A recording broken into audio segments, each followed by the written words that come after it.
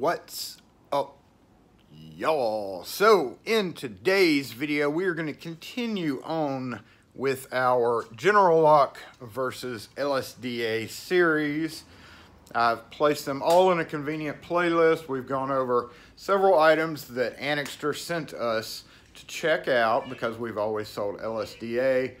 And I'm going to put the playlist up here in the corner going over knobs and levers and all this other stuff. But today, we're going to go over narrow stile mortise locks. That's, that's these things that's used on glass storefront doors in the U.S. I'm not sure about overseas so much, but uh, narrow stile, and, and I'm going to say style a lot in this video because they're narrow stile doors. It's, it's S-T-I-L-E, but they are Adams Rite. The two that we're going to be looking at are Adams Rite style. That's S-T-Y-L-E because Adam Rite Adams Rite came up with, I guess, came up with these things. And then, of course, a bunch of other companies come along and clone them, one of them being LSDA, another one being General Lock, and there's bunches of others, honestly, but we've always sold LSDA. We were sent the General Locks to look at. I'm also going to talk about mortise cylinders in this video. That's right, mortise cylinders and cylinder collars that go around that because it all kind of goes together. Might as well knock it out on one video. So we're gonna be a little bit longer in this video, but y'all are used to that. So let's get started with narrow stile. And, and again, that's the stile, S-T-I-L-E. That's the that's this part of the door that the lock goes in. Adams Rite style, that's with a Y because they're they're styled after Adams Rite and and whatever. So I decided to do this video. I, in the last video, I mentioned that we were going to do this padlock uh, next, but we're not because I actually just did a massive unboxing. I'm also going to post the link up here in the corner. If you didn't see that huge unboxing, I haven't gotten any of this to my vehicle yet. It's just been sitting up here ready to restock the vehicle. So I figured it would be a perfect time to go over Adams Rite style mortise lock. So we've got the general lock right there. This, this is the deadbolt. So there's three different versions of these things. There is, and, and three different measurements. There's 31 32nd. Now that's kind of an older style that you don't really see. I, I haven't seen a 31 32nd back set, which is just like your back set from the edge of the door to the center of the hole. I hadn't seen one of those in quite a while uh, and they're almost never used in new construction. There's inch and an eighth, which is what we're going to be looking at, and is by far the most common. So if you're going to stock anything as a locksmith, you're going to want to stock the inch and an eighth. Uh, those are the dead bolts. Hook bolts, which we see deadbolt, hook bolt, they're the exact same thing. However, hook bolts have a hook, obviously by the name of them, uh, in it and they're also used on you know the sliding doors where you see yeah and they come together when you when you go in and they open up.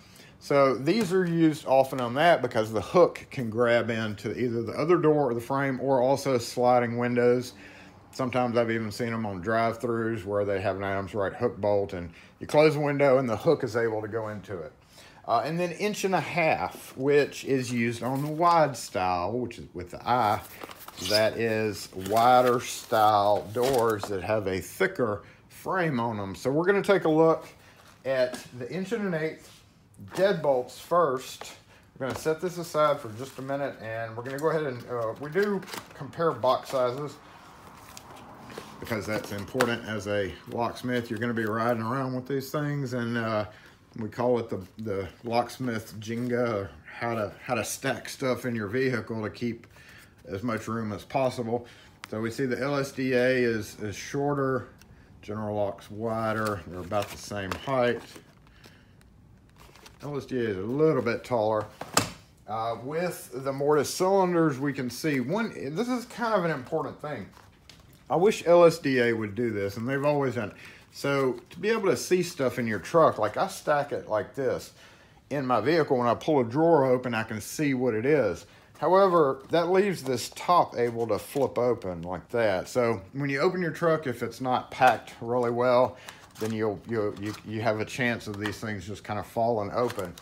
It would be much better to have the label on top, so that is actually a bonus. However, we'll look at the size difference. It is uh, it is a bigger box for sure. So it will take up more room in the car. Some people take the take it out, you know, and put them all in one container.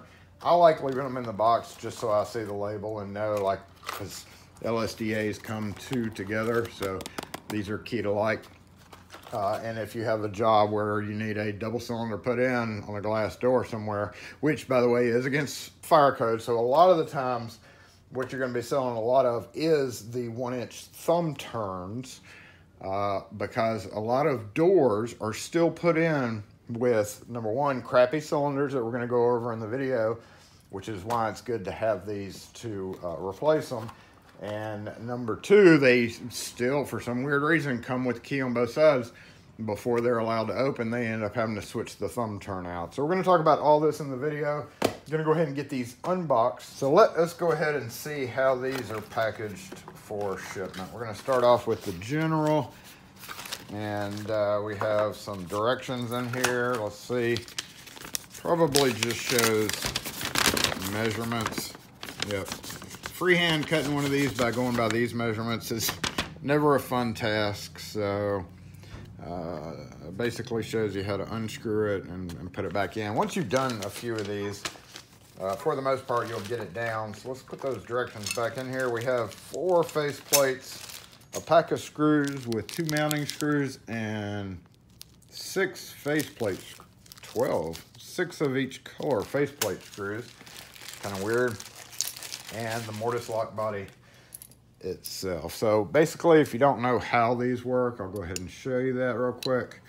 We see there's this little pivot on the back of your mortise cylinder, what happens is when you turn the key or when you turn the thumb turn, it presses down on this, which pulls it out of kind of its locked notch. And as it does that, pushes down. Let's see if I can do this without being in the camera. Ah! You push down and it flips out. So it's gotta, it's gotta go all the way to catch into this lock notch. That's that's how they work. You turn the key or you turn the thumb turn 360 degrees and, and that's what it does. Uh, with the face plates here, we've got two of each color looks like. They are stamped on the faceplate in general. And we've got a flat face and a round face because a lot of double doors have a have a round so that when they meet, they kind of they kind of can touch each other. But two different face plates in each color.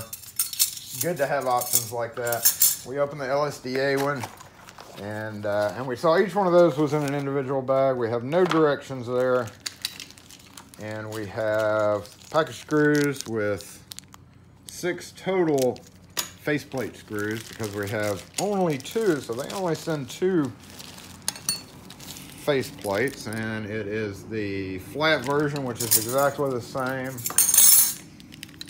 as their flat version almost a very minor difference uh, and not stamped as I mentioned and it in its own bag same exact thing if we hold them up together uh, it, it you glance at it at first and you say look at that the font is the same it's in the exact same place. Are these made in the same factory? Well, there is some differences. There's a cutout open right here.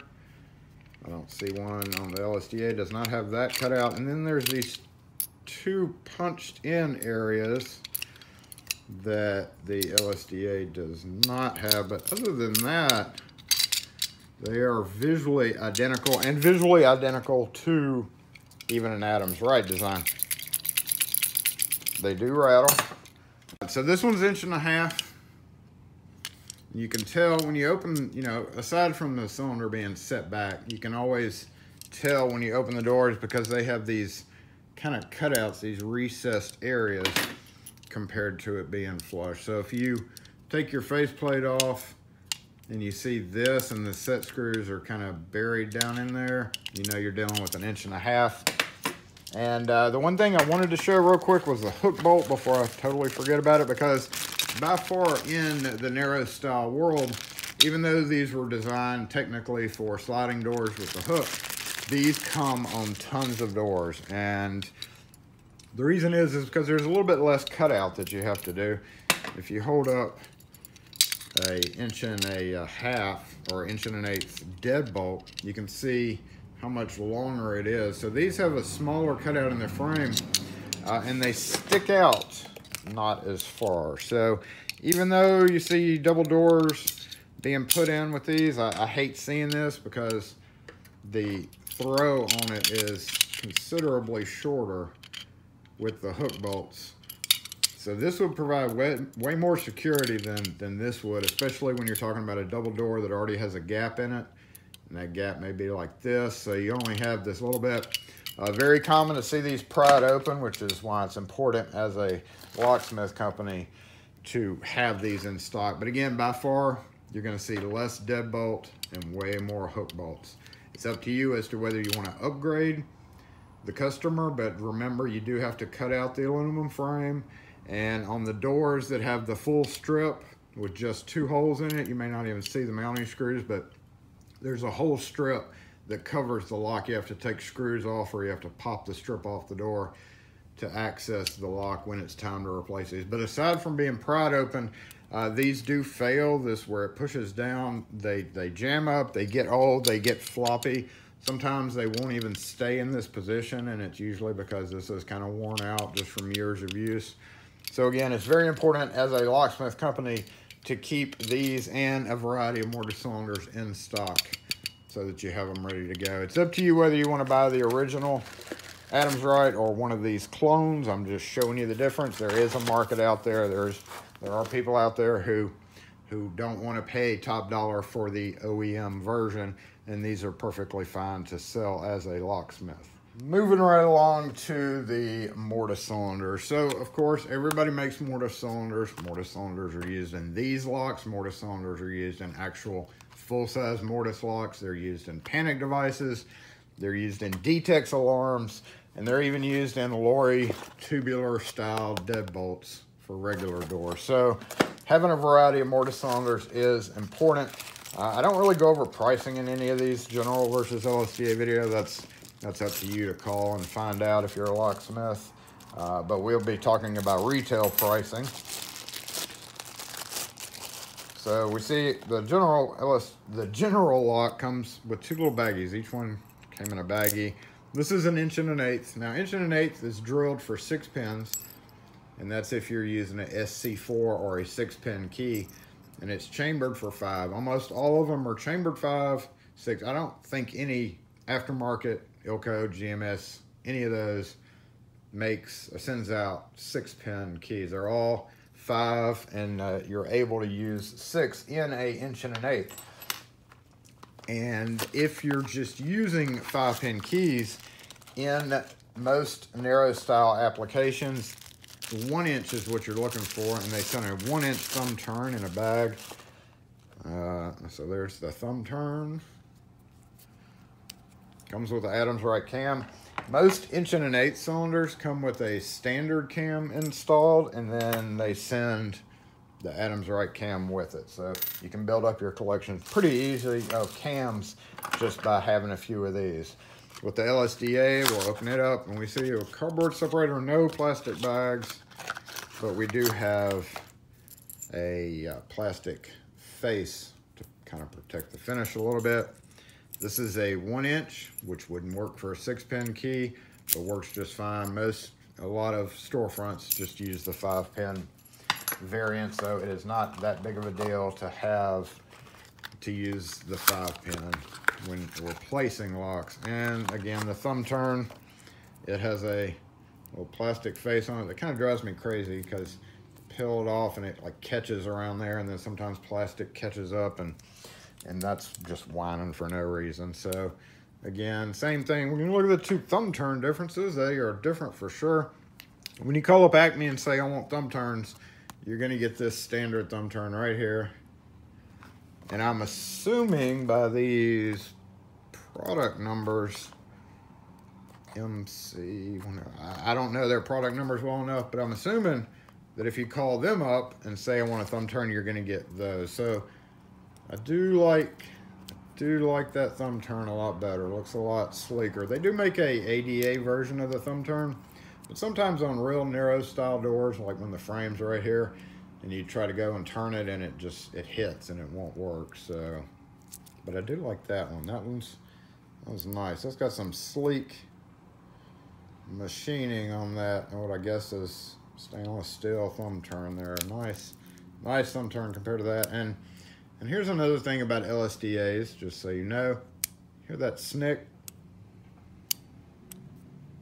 That's got a really strong spring. It's pushing down a ball bearing. And uh, in, I'm sorry, the ball, the spring is underneath the ball bearing in the cylinder. And what happens is it's catching in one of the chamber holes. This is just a regular cylinder with one hole drilled in it for the ball bearing. But I have had on occasion where I failed to put in and lubricate these that after a month or so, people are like, I can't get the thumb turn. The thumb turn freezes up. And then when you come in and lubricate it, it starts working again. So it's something to be aware of. And it's got not a lot not as loud of a snick. Now on some doors, that snick is good and bad. It's like a positive stop. What you're wondering what it's there for. Because if you have this in a, Adams Rite, and the, the, the cam is turned down, and then on the outside, these do work independently. So it's it doesn't happen as much as it used to. But what happens is if this is like kind of in the, like in this position, and then you go and you rotate the other side and lock it, and it takes this and it carries it. So if there's any drag here, then it can cause problems with the lock. Again, you don't see that too often. That's kind of a more rare problem but it does happen and that's why it's good to have that positive little snick to it. So let's talk about the locks that come on doors when they're put in new. They're made out of this kind of what, what I call zinc pot crap metal. And the biggest problem with them is, number one, they wear out really quickly. Number two, they're very inferior made. See how they have slots cut all across the top. See, we even have some corrosion beginning there. This is actually even a fairly new lock, and you can see that corrosion starting to happen. That's very typical of uh, cheap metal. So what happens is a, they come along after a few years. This is a Vistawall brand. Actually, that's been around for quite a number of years, but you can't even it, it, can you can barely get your key in there and then you got to jiggle, jiggle, jiggle. These just wear out because of how they're designed. If we take apart a couple of the, the General and the LSDA lock, we can see two things. Actually, I'm going to show you one other thing with a new version of that that has a tail piece. But number one, since it is a solid brass bodied lock, they have machine screws. See these little little machine screws, and that's because the plug is made out of a, a better metal. If you take apart one of the what I call throwaway locks or the locks that come on the doors. And I keep these because uh, number one, I, if I get on a job and somebody has, say, one of these, and I'm out there to rekey, and this one is just in really bad condition, usually I'll just grab a new one and rekey it at no extra charge and give them a whole new lock. Uh, I will offer if if it's in, and that's it depends on the use of the door. If if the door is really heavily used, then I will say you certainly need to upgrade to new locks. You know, even though we got called out to rekey, but but see, this started about a year and a half or so ago, maybe a couple of years ago. They started coming in with these what I call little bitty sheet metal screws, I guess, with no tip. And that's because this is so soft. They've I guess they've discovered over the years, and I've gone out where the fine threads won't hold because this tapped area right here is in such crap metal that the taps wallow out. So they they switch to that. Who knows if that's a good idea or not? Nobody knows for sure whether it is a good idea until it's been used quite a bit. But we can see same thing still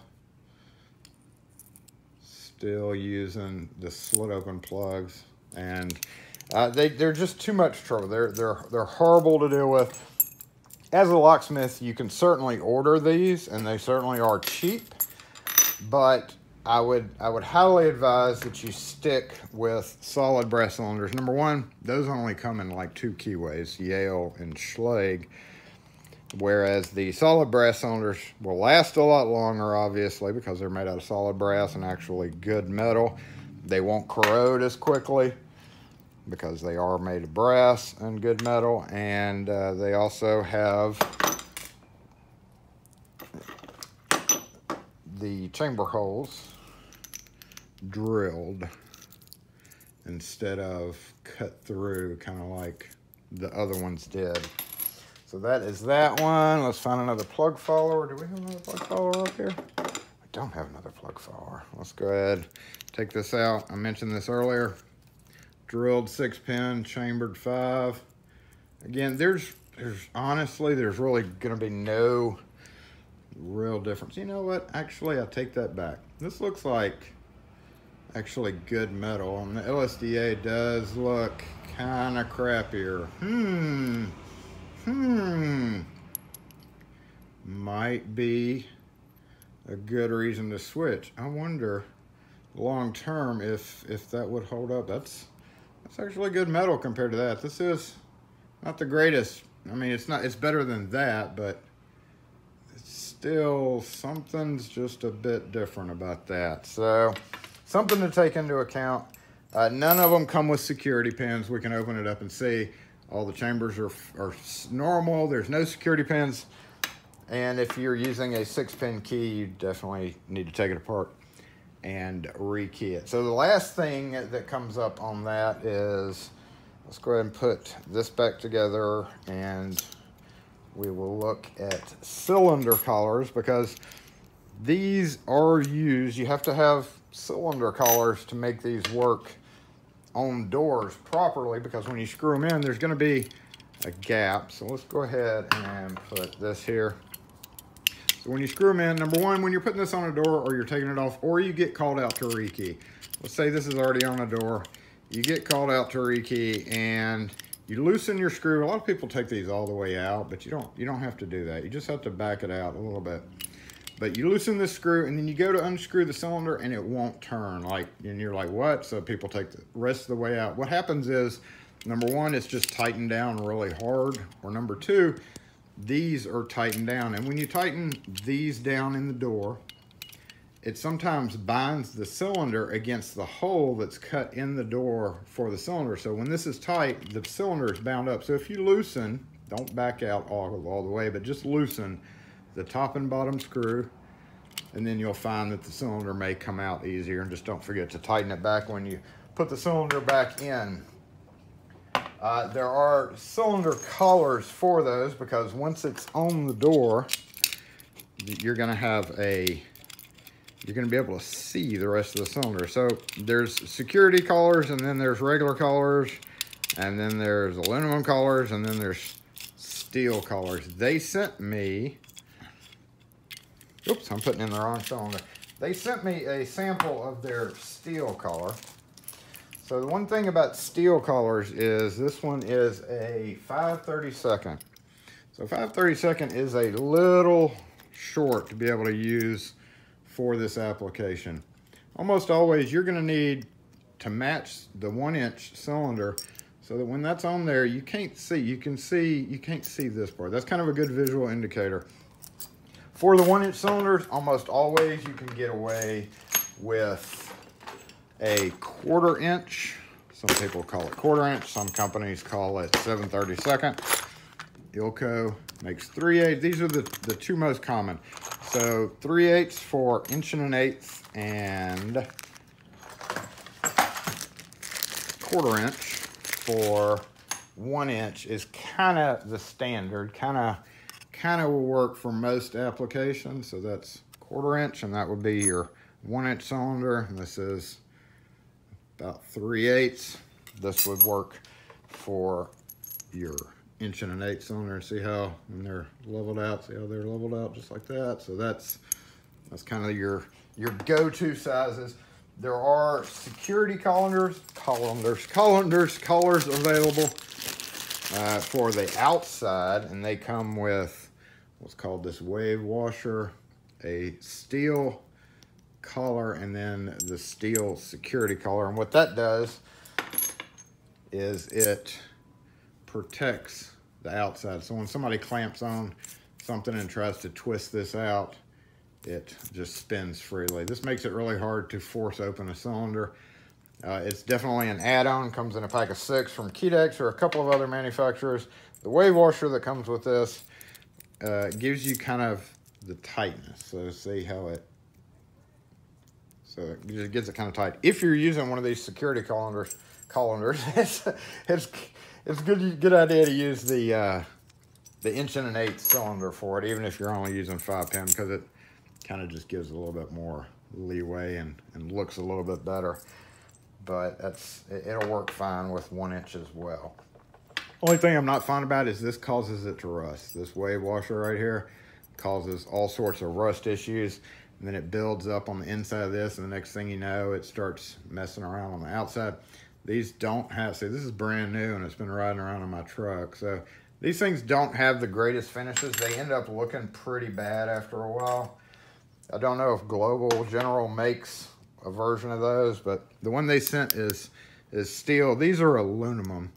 So there's a big price difference. You know, when you put this up to this finish, it looks much better. Well, let's put it up next to one without plastic on it. See, that looks that looks much better, but that doesn't provide any real security. It's really just hiding hiding that and providing the proper spacing. So some people don't like this. If they're real ticky, they may not like that. But retail wise, you're talking about seven to ten dollars per cylinder versus three or four dollars per cylinder. So oh, 90% of the time people are just don't care. They just want it to work. They don't care if it's got that slight mismatch. If they do, they would have to definitely upcharge for that. I almost always only stock the aluminum, but I do have a variety of other cylinders for situations where it needs it. These really can't often be used. This is a Sargent, Assa Abloy, that comes with with uh, original style cylinders. Let me see how that works. But a lot of times, see how much bigger this ring is compared to this ring? So this can cause problems with the edge of the door when it closes because narrow stile, narrow frame. If this is too big, it may hit and cause the door not to close all the way. So these are more specific to actual mortise locks, not necessarily narrow stile mortise locks. Lastly, with mortise cylinders, they're also used with what's called Lori deadbolts, or Ilco, Ilco makes them now. Lori deadbolts has a thing where you screw the cylinder in, you've got the latch, the cylinder screws in with the two shrouds, and it, it they also come with spacer rings as well and the wave washers. Let's see, it comes with little spacer rings right there. So that is another reason to have, if you stock mortise cylinders in different keyways, which they're available in pretty much every keyway out there. If you can't find it in an aftermarket cylinder, it's gonna be available in the original, like say Sargent, Oddball keyways, or whatever the case is. But for the most part, Schlage Y1, uh, Sargent LS, uh, LSA, which is an Acme specific keyway, uh, Russwin, all those are available in L4 and L and D1s. All those are available in aftermarket cylinders, whether it be from General or whether it be from LSDA or even another company. I'm just showing you and we're just talking about narrow stile mortise locks in general break into the video right now to say that right now, if you post a comment, if you are a locksmith, if you go out and provide locksmith service, I want to offer this to you. So go ahead and post a comment in the comment section that you are a locksmith and that will enter you in the giveaway. We're going to give away the, the general products that we just looked at, uh, a hook bolt from LSDA, and another one inch cylinder. So this will provide you, whether you find if you get on a job and there's one broken, you can actually sell all of that for well over 175-ish dollars easily. So that is a chance for you to get some free product and also a chance for you to check out the differences for yourself so you can decide which one you like better. But right now, post a comment in the comment section. This is not for the the lock picking crowd because I don't want to see this. This is this is something that a, a field locksmith in the U.S. so it's U.S. based, of course, uh, that that you would need when you get called out and you have a broken Adams Rite style lock. So make sure and post a comment in the comment section if you are interested in winning that package. And we'll probably do the giveaway during our Saturday morning live whatever number it's coming up. And I'm pretty sure that covers everything I can think of right now. If I missed anything during the edit I'll either update it in a comment or post it while I'm editing this video but that is narrow stile with eye mortise locks mortise cylinders thumb turns and, uh, and pretty much everything I can think of about those. So if you have any questions or comments on them, I'm not saying choose one company over another. I'm showing you the difference. I do like some of the features of the mortise cylinders, including looks like a little bit better metal. The only problem I've ever had with mortise cylinders from Acme is that thumb turn freezing up because of the strong spring. But I do like General's thumb turns better it's one of those cases where even if it's only, you know, 50 cents or a dollar off, I don't know what the price difference is in them, but as long as something's working for a company and LSDA has worked fine for us uh, for decades now, so it's just one of those things. Unless you have problems with a particular product, you, there's no real reason to change on it. So it's, and it is what it is type of thing. So again, thanks for watching y'all. Make sure and hit that like button. Make sure and subscribe if you are interested in locksmith type stuff like this. And we'll catch y'all next video.